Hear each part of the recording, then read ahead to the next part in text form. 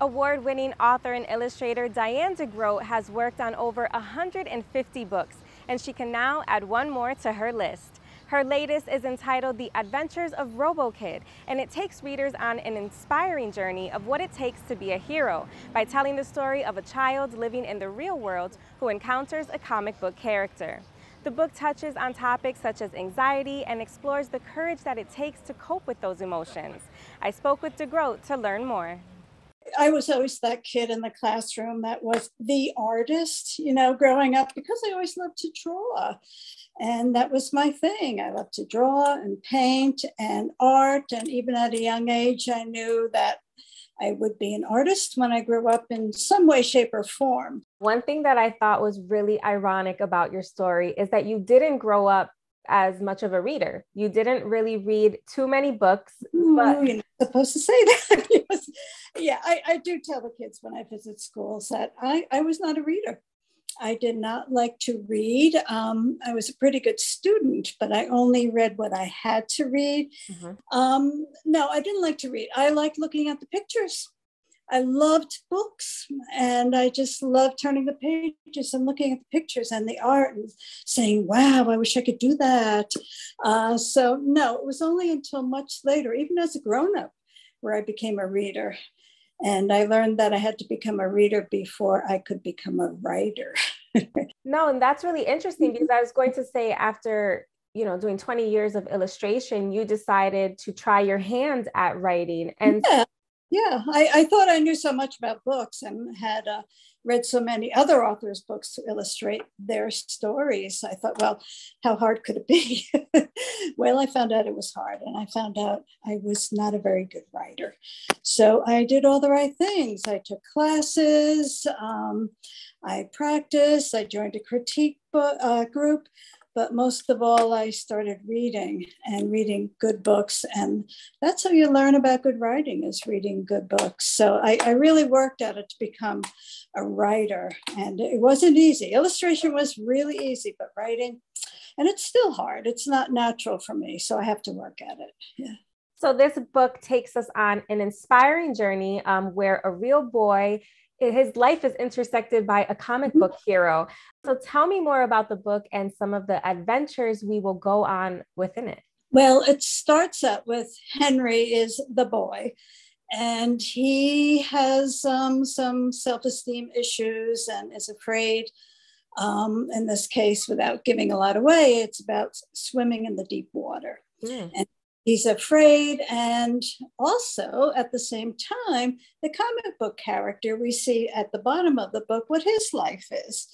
And he needs a he needs a break. His life is boring. So he climbs out of the comic and ends up right in the boy's backpack and comes just at the right time so that Henry feels that if he's with him, he could do anything. So it's a matter of, I think, having the right attitude and feeling you could do something with a little encouragement if you didn't have that before.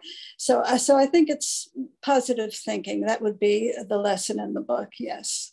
So you've mentioned that when you're illustrating a book, you are always learning something new. And being that this style of book mm-hmm. was new, um, it, it, was a different kind of creation for you. What mm-hmm. did you learn about yourself through this experience? Well, it, it was a totally different medium. I, if I hold up the book, um, you can see uh, the boys part is a very soft pencil drawing, and the comic book part is a line drawing. looks like an ink drawing, but really it's not pencil, it's charcoal. And it's not a line drawing, it's digital art in the computer. So I've been using Photoshop for quite a few years to incorporate it into even my Gilbert books. You can't tell, but there is digital art in there. And also the Charlie the Ranch Dog books. There's some digital art, but you can't see it.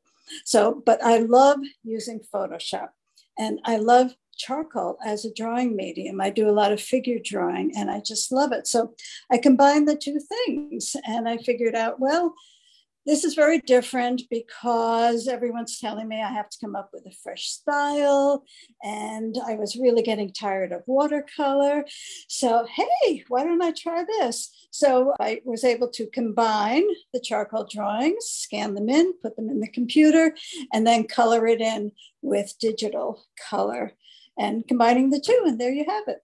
So speaking of all this drawing and, and the digital and the combining, it, it, brings me to one of the most frequently asked questions that children always ask you, which is where do you get your ideas?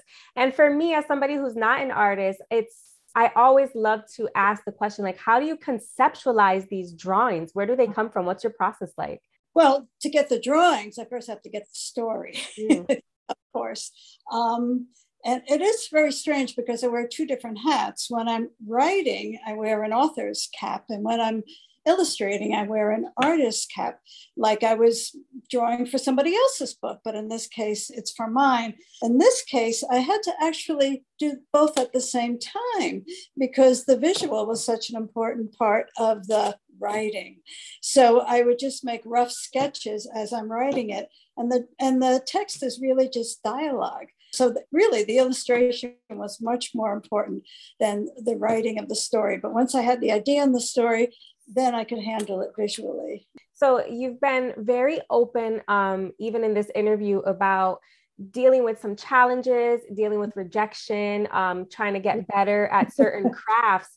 Um, so how were you able to handle um, any of that negative feedback? And what advice do you have for others when it comes to courage perseverance and not giving up? Good good question. Um, up until recently i didn't have any negative feedback.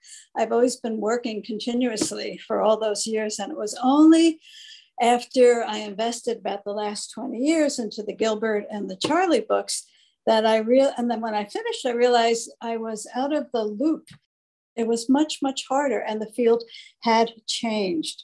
So it was with perseverance and finally getting an agent also for the first time that really helped me. Um, it, it, it's not easy. And for someone even to break into the field now, it really takes perseverance. And I think being knowledgeable with social media is absolutely vital, even if us old folks, we say we just don't want to deal with that. You know, we just felt that if your work was good, it would get published, but that's not the case anymore. You really have to do research, you have to promote yourself, and you have to reach out to your audience instead of just sitting there and waiting for them to come to you. Really important.